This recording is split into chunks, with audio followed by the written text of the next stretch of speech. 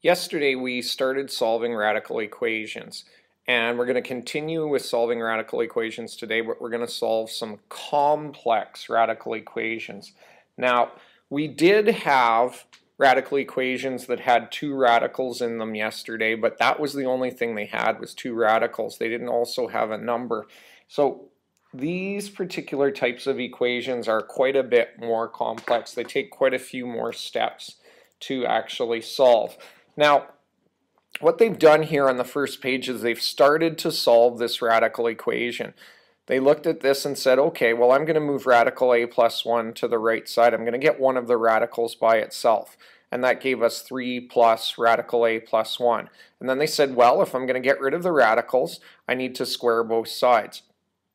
So when you square the left side, it does leave you with 3a plus 4, but when you square the right side, it does not leave you with 9 plus a plus 1. This is a binomial. It means you need to multiply that binomial by itself again. So what it wants us to now do is it wants us to actually solve this correctly. So we are in fact going to start with the second step that they had in their work, which was they moved the a plus radical a plus 1 over to the right side and that gave them 3 plus radical a plus 1. Now once you isolate one of the radicals then you're going to square both sides.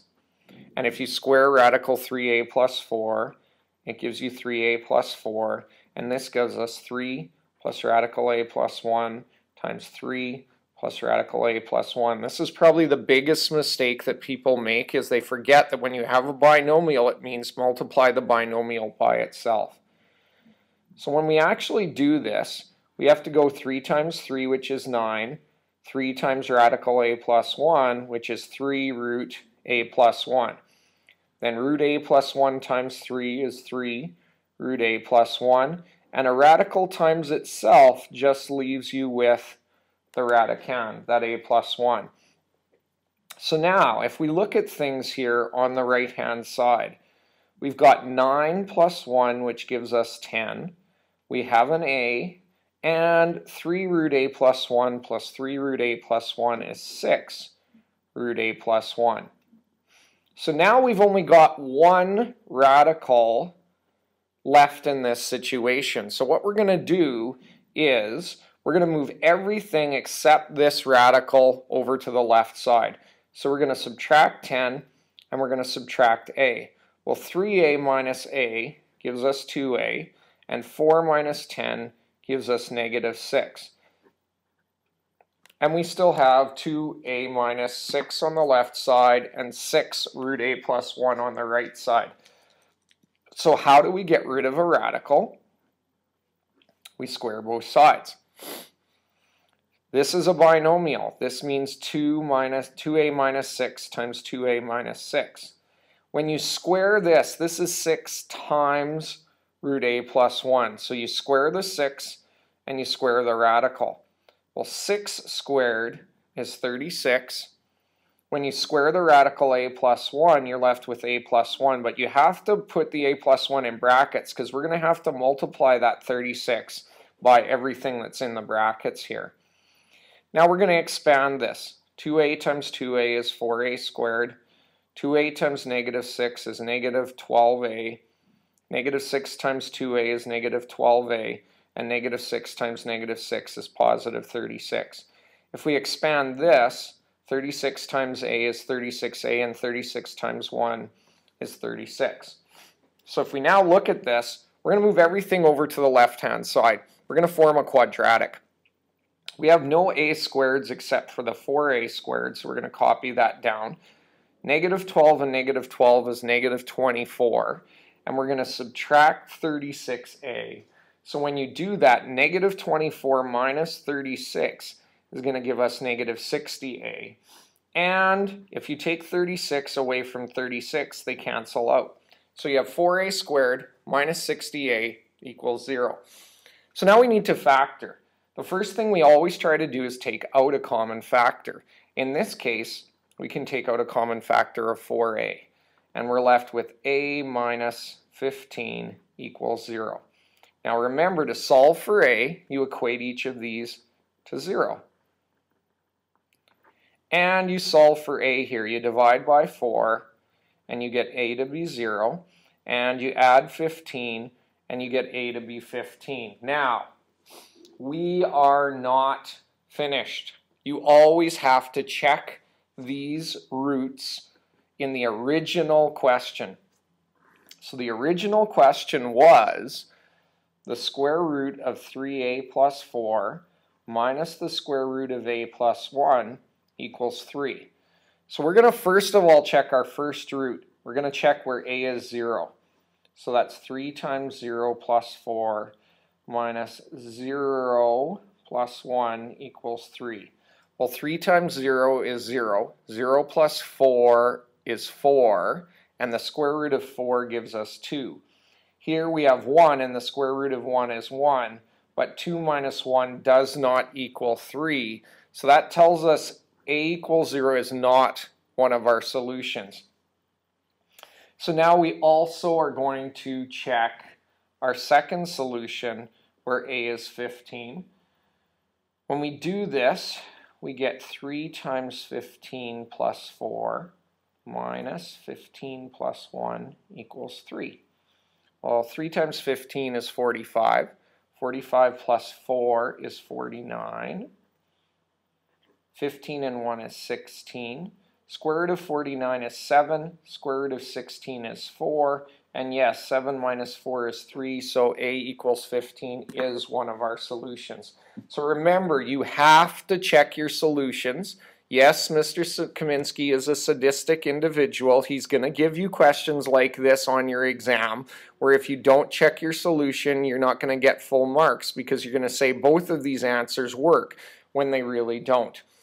If we go back to this question before we move on, the process of solving a complex radical equation is first, isolate one of the radicals and square both sides. Then you isolate the, the remaining radical and square both sides, and then you solve for your variable. So let's take a look at a question where we have to set up the radical equation and then we're actually going to go through and we're going to solve it. The question says when the square root of 2 less than a number, so the square root of 2 less than a number is subtracted from the square root of 5 more than twice a number, so twice a number and 5 more, the result is 3. So we have to read the words. 2 less than a number means a number minus 2. 5 more means add 5 to twice a number means multiply that number by 2. Subtracted from means that this initial thing is taken away from the original. So if we look at this situation, we have to do similar to what we did in the last example we're going to add root x minus 2 to the other side. And we're going to get 2x plus 5 equals 3 plus the root of x minus 2. So now we have one of our radicals isolated, this radical on the left-hand side. So we're going to square both sides. When we square this radical on the left side, we're left with 2x plus 5. Remember, this is a binomial, so we are going to have to multiply that binomial by itself. So when we do this, we're going to get 3 times 3 is 9. 3 times root x minus 2 is 3 root x minus 2. We're going to get 3 root x minus 2. And when we multiply the radical by itself, we just get x minus 2. If we isolate or simplify on the right side. 9 minus 2 is going to give me 7. I have a single x, and if I look at these radicals, I have 6 root x minus 2. So now I'm going to isolate the 6 root x minus 2 on the right side. I'm going to subtract 7 and subtract x. Well, 2x minus x is going to leave me with x. 5 minus 7 is going to leave me with negative 2. So now I have this radical on the right hand side all by itself. It's isolated. So now what we have to do is we have to square both sides again. So this gives me x minus 2 times x minus 2. When you square the 6, you get 36. When you square the radical, you get x minus 2. But remember, we're going to have to multiply those things together in a second. When we expand this, we get x squared minus 2x minus 2x plus 4. 36 times x is 36x, and 36 times negative 2 is negative 72. So if I move everything over to the left-hand side, negative 2 and negative 2 is negative 4, and if I subtract 36 and negative 4, I get negative 40x. I'm going to add 72 to 4, which is going to give me 76. So now I've got a quadratic that I need to factor. I need two numbers that multiply to 76 and add to negative 40. I could let you wrestle with that, but in fact those two numbers are negative 32 and negative, or sorry, negative 2 and negative 38. And when we solve these, when we equate them each to 0, we get x to be 2 and we get x to be 38. And if you stop there, you haven't finished the problem. You have to do your check. You have to see, do these work in the original equation? So our original equation is the square root of 2, 2x plus 5 minus the square root of x minus 2 equals 3. If we make x 2, this is going to give us 2 times 2 plus 5 minus 2 minus 2 equals 3. 2 times 2 is 4. 4 plus 5 is 9, and the square root of 9 is 3. 2 minus 2 is 0, and 3 minus 0 is indeed 3, so that checks out. We're going to do the same thing with 38. We're going to get 2 times 38 plus 5 minus 38 minus 2 equals 3. If you go 2 times 38 plus 5, you're going to get 81. 38 minus 2 is 36.